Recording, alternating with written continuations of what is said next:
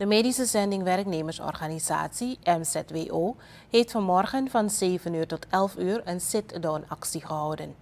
De bond heeft namelijk vernomen dat de kans bestaat dat de salarissen voor de maand december wederom laat uitbetaald zullen worden.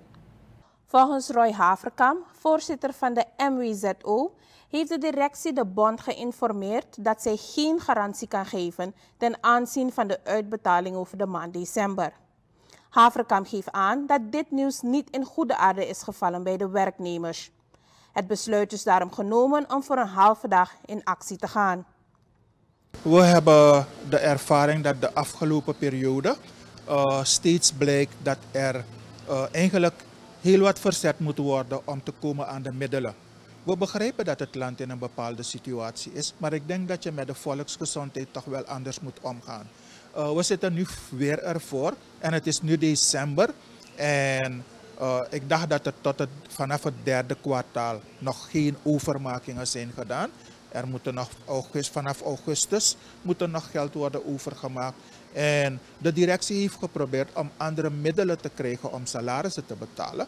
Uh, wat ook met zich heeft meegebracht dat de salarissen tegenwoordig bijna op de laatste dag van de maand worden betaald. En nu zitten we toch wel voor een groter probleem, omdat we over het afgelopen jaar hebben onderhandeld. Uh, en de mensen moeten een TWK krijgen. Maar los daarvan, ze moeten dit, uh, deze maand hun salaris krijgen, maar ze moeten ook een gratificatie krijgen. En dan nog komt dan die TWK. Volgens Haverkamp is het nu bijna zeker dat de gelden er nog niet zijn.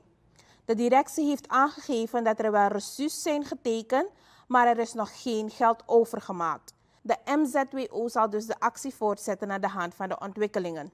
Morgen zal de bond bepalen welke stappen er verder gezet zullen worden. Als wij vandaag horen van de directie dat er beweging gekomen is en dat er uh, toezeggingen zijn of dat er uh, geld is overgemaakt, dan wordt die actie wel opgeheven.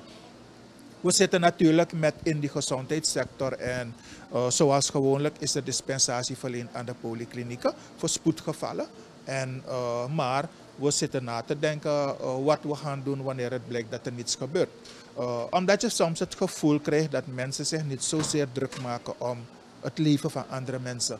En we hebben mensen in het binnenland.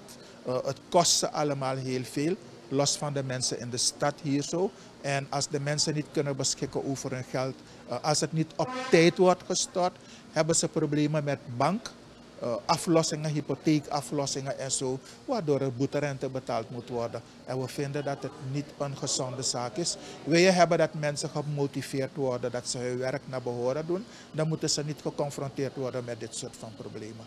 Roy Haverkamp, voorzitter van de medische zending werknemersorganisatie. Hij sprak vanmorgen tijdens de sit-down-actie van de medewerkers op het hoofdkwartier van de medische zending.